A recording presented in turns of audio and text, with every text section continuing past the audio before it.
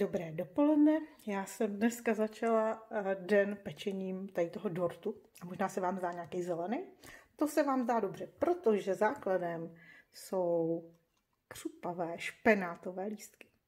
Jo, teď si říkáte, že Maria, to je bláznivina. No, říká se tomu normálně mechový dort, já jsem zkusila udělat vegan verzi. A protože tuším, protože vím, že se to povede, tak tu udělám jako samostatný recept a vám tady dám jenom takový lákačky, jako tuhle. Takže než mi tady vychladne, tak já jdu ještě dokoupit nějaký suroviny, protože dnešní, dnešní vlog bude celý trošku ukulelý. Já jsem si venku vlastně uvědomila, že jsem od té soboty nebyla venku a tak jsem si tenhle ten krásný den rozhodla užít, protože ty naše budějice jsou prostě nádherný a to modrý nebe k tomu, to byl úplně jako luxus. Luxus nejluxusnější. A byť jsem původně šla jenom koupit olej, maliny a lotusky, tak eh, jsem nakonec chodila venku skoro dvě hodiny a kochala se těma našima krásnýma budějcema a došla jsem samozřejmě až k vodě, to já dojdu vždycky, protože voda mě fascinuje a na vodě byla labuť. Nejdřív tam byla jedna jediná a tak ladně si tam plavala. Já jsem ji obdivovala, protože labutě, to je prostě můj oblíbený opeřenec. No a když tam pak připluli za ní spoustu dalších, tak jsem uh, úplně fascinovaně tam stála a zírala, jak jsou to nádherní opeřenci. No, řekněte sami. A ještě jak se zrcadlili v té vodě, to byla prostě nádhera. Vůbec se mi nechtělo domů, jak jsem tam koukala a říkala jsem si, jak to je na tom světě hezký, když je sluníčko a když se povede den. Tak úplně to všechno vypadá jak vymalované. No tady už plujou, vidíte? To jsou prostě neuvěřitelné záběry. Teda nechci říct, že já jsem je neuvěřitelně natočila, ale jakože ty uh, labutě jsou krásné. No ale pak jsem to přes náměstí pomaličku šněrovala domů, protože tam na mě čekal ten dort na dodělání a spoustu dalších věcí. Ale pořád jsem se kochala. Jsem prostě takový kochající typ. Ještě jsem vám vlastně chtěla ukázat nejužší dům v Českých Budějovicích. Vidíte, eh, to je ten tamhle před náma a je opravdu uzouný linkej a tam je hospoda žíznivá gumovka nebo holinka, teď nevím. A tam jsme kdysi taky hráli s ukulelistama, tam jsem já vlastně s nima hrála úplně poprvé. No a pak jsme hráli tady u Pepeho. No a tím pomalinku se přesouvám domů a těším se, že si dneska zase zahraju. Dneska super rychlej oběd, že jsem se trošku zapomněla venku, bylo tam fakt krásně, takže zbytek rýže a mražená zelenina společně prorestovat a bude toho dost i na zítra. Té směsi nebyla kukuřice, tu jsem si tam dopřidala, teď tam ještě hodím nějaký kořeníčko, tu rejži, no dobrý oběd, ne? teda mě to stačí. No lahun se to podlejvám, dala jsem tam country koření a myslím, že to bude moc velká dobrota. Je to hotový. Vlastně se to vaří jenom tak dlouho, dokud ta mm, zelenina není teplá. Vůbec ji tam nerozvařujte. No a pak mám zítra oběd i. To je dobrý. Takže já to mám hotový, nandaný, zase posypaný sušenou smaženou cibulkou, protože vevnitř základu cibule nebyla. No, jdu si dát oběd a pak musím rychle na ten dort. Já jsem právě teď dodělala ten dort pro Majku, je to mechový dort, mám z něj radost, chutnala jsem už tady ty odkrojky a všechno, všechny tady ty zbytečky, je moc dobrý. No a tak já ho jdu teď vyfotit, pak ho přiklopím velkou mísou a dám ho na balkon do chladu. Takhle ten dort nesu do nejlepší ledničky na světě, to znamená ven.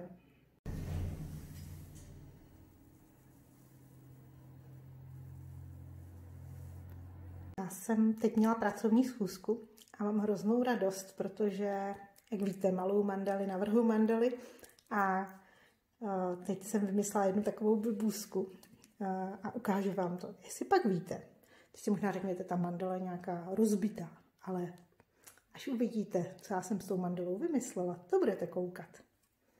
Pozor, pozor, toto je vypínač A toto je mandala. Počkejte, jednou rukou to tam nasadit, on ještě není přesně čtverec teď. Tak co? Jak se vám to líbí? Jsem nadšená, mám nahoře ještě větší, to zítra všechno budu dělat a to uvidíte. No a tady je velká, tady nahoře nad schodištěm a tu chci zkusit namořit. Sice prý překliška moc mořit nejde, no ale já to zkusím. A co tyhle mandaly? Ty jsou na zeď. Nebo na co chcete? Na stůl? Já jsem z nich úplně nadšená a pozorňu, jsou moje, já jsem si je namalovala. Tak je mi jasný, že by dort měla řezat oslavenkyně. Ale když ho chcete nafotit v řezu, i s řezem, tak toho musíte udělat dřív. Já doufám, že mi to odpustí, protože pak už nebude světlo. Ahoj, po tom videu, kde jsem ukázala, jak hraju na ukulele, mi přišlo spoustu dotazů na to. Tak já jsem si řekla, že to dneska nahraju, abych vám řekla, jak jsem k ukulele přišla. Tak prosím vás, jak už jsem říkala předtím, vždycky mi říkali, že neumím hrát, zpívat, nemám hudební hluch, teda mám hudební hluch, nemám hudební sluch, takže jsem to celý život nedělala. No, ale pak uh, mi do života vstoupil Martin, který je muzikant a mě to bylo takový úplně hloupý. Já jsem muziku vždycky milovala, folkovou hlavně teda. A najednou on si doma hrál, Anička začala hrát a já tam tam seděla a právě říkala, taky na něco chtěla hrát. No a to už jsem se kamarádila dávno s Rendou Součkem, který tady dneska měl být se mnou a měl vám to ty moje slova potvrdit a říct vám odborný názor, protože podle mě Renda je nejlepší ukulelista v Čechách. No, možná ještě nějaké existuje, ale já mám jako Rendu. no a uh, když jsem mu to říkala, tak uh, mi říkal, tak začni hrát na ukulele. Má to čtyři struny, naučí se na to i cvičená opice. No, tak to byla výzva. A tak jsem si nejdřív půjčila ukulele a posléze koupila a od března 2020 jsem začala eh, zkoušet hrát. Já jsem původně myslela, že si eh, koupím nějaký jako čistý ukulele, že si ho nějak namalu, aby vypadalo jako moje, protože jsem, mám teorii, když mi to nejde, tak ať aspoň u toho hezky vypadám. no a pak mi Renda poradil, že ukulele shop Bena Andersona, že se tam dají sehnat dobrý ukulele za dobrou cenu protože co kdybych si to rozmyslela, takže jsem do toho nechtěla vrázet moc tisíc. No a tam jsem objevila tady to moje kulíčko, krásný, a začala jsem s Rendou trénovat. Já vám tady do rohu dám odkaz, eh, kdy jsme vlastně poprvé měli eh, první hodinu.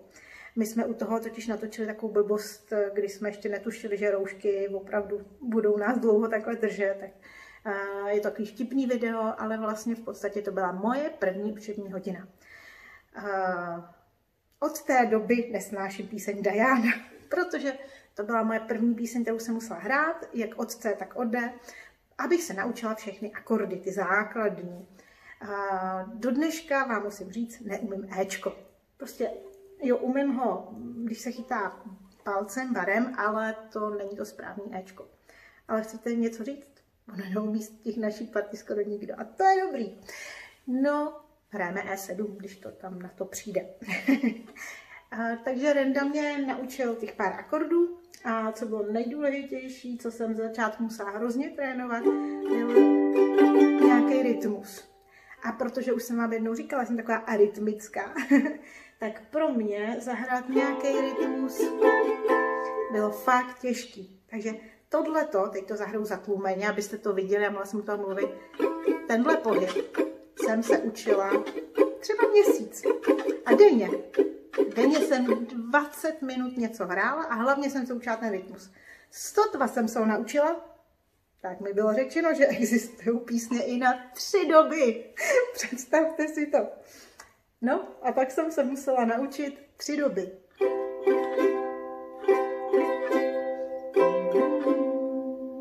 nebo i jinak to jde. Co do dneška úplně neumím, je vybrnkávání. Prý až to budu mě, tak budu oslňovat. Tak protože vybrnkávání mě jde s čistýma strunama. Ale jakmile tam začnu dávat tady rukou akordy, tak už jsem zase mimo, úplně odmazaná. No, takže jsem eh, prvních 4-5 měsíců počkejte, březen, duben, květen, červen, do června, tak čtyři měsíce jsem opravdu se snažila denně hrát 10 až 20 minut, i kdyby to mělo být jenom trénování toho rytmu a Renda chodil jednou týdně mě kontrolovat, možná jednou za 14 dní, tak často tady nebyl.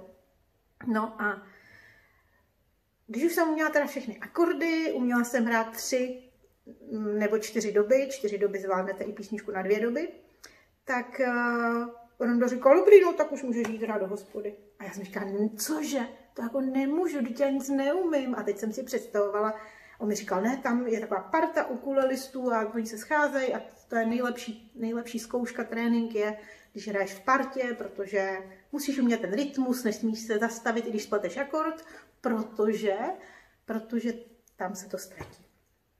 No a protože se bojím sama někam chodit poprvé, tak jsem poprosila Martina i Aničku a úplně poprvé jsme šli do žízní holinky. A možná najdu to video z toho ještě, když tak eh, vám sem kousíček dám. A tam jsem hrála poprvé hospodě.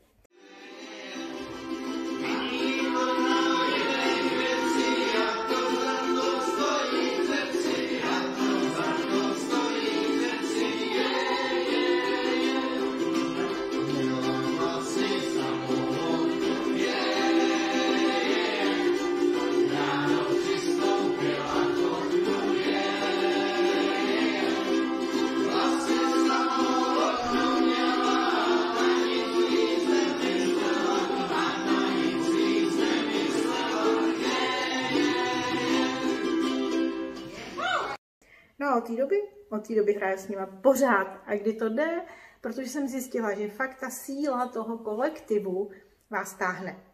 A uklidním vás, opravdu většina to Ečko neumí. Takže tím, že jsme skoro samý holky, tak většinou skoro všechno hrajeme od C dur, tím pádem tam je málo kdy Ečko. A když už se objeví, tak hrajeme E7. Takže takhle já to mám z ukulele. Já vím, že to nikdy nebude nebudu v tom úplně dokonalá, dobrá, nejlepší. Ale hraju pro radost, protože jsem si dokázala, že hm, i když vám celý život říkají, že něco nemůžete dělat, tak prostě můžete. Takže i když vám všichni říkají, že nemáte hudební sluch a že tím pádem nemůžete hrát na hudební nástroj, můžete. Jo, do dneška mám problém rozpoznat doby. Já prostě slyším písničku a nepoznám, jestli je na tři nebo na čtyři doby. Proto taky nemůžu tancovat nějakou klasiku sama, protože já potřebuji partner i v tanci, aby slyšel. A řekne polka, valčík, tohle, tamto. Prostě on musí slyšet ty doby. V tomhle tom bohužel už se asi nezlepším. Je, tahne se to se mnou od první třídy. Jsem v první třídě byla po škole, protože jsem neuměla polkový krok. Respektive neslyšela jsem ty, ty duby. No, takže vidíte to už v první třídě. A jestli se chcete pobavit, já jsem našla fotku z první třídy, tak já vám ji sem teď vložím. Tak to jsem já v první třídě. No a to je tak všechno, co jsem k ukulele chtěla říct. Eh, pokud eh, si myslíte, že eh, vám chybí muzika a hudba v životě, tak to zkuste. A klidně to zkuste s ukulele, protože maličký, mám na něj pouzdírko, takže kdykoliv ho dám do pouzdírka, hodím ho na záda, ani nevíte, že, no, že ho na těch zádech máte, jo? Takže jako baťůžek si to vemete takhle, můžete jít někam na výlet a máte ukulele sebou, ladičku si stáhnete do mobilu, protože na ladi to podle ucha to bych taky nedala. No, on už málo kdo, třeba Martin jo, ale tak jako chápete, on je muzikant. No a to je tak všechno o mě o ukulele a já jdu dělat nějaké dobrutky, protože dneska budeme mít malinkou zkoušečku a já vám tady dám trošičku nějakou ochutnávečku toho, co trénujem, protože prosím vás, až skončí korona, tak my prej budeme mít pít koncert v hospodě. Zase. tak jo, takže vás zdravím a mějte se krásně. Já se těším, že si dneska zaspívám, protože zpívat je moc fajn. A neříkejte, že to neumíte. Jak říká Dana, všichni to umí. 99% lidí umí zpívat. Jenom to musíte natrénovat.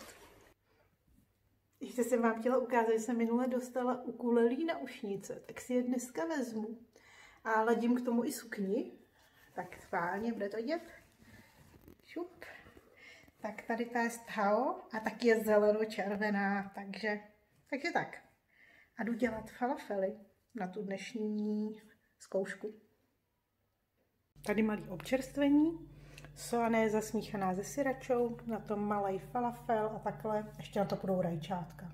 Tak tady jsou ty falafelky a nějaký další dobroty, co přinesla Majka. Máte to? Jo, dobrý.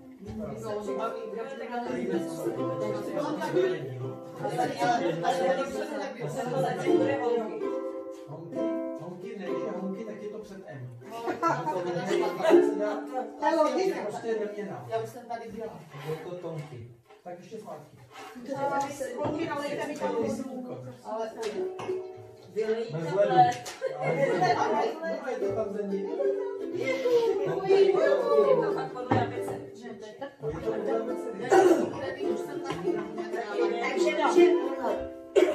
tři, čtyři. Každý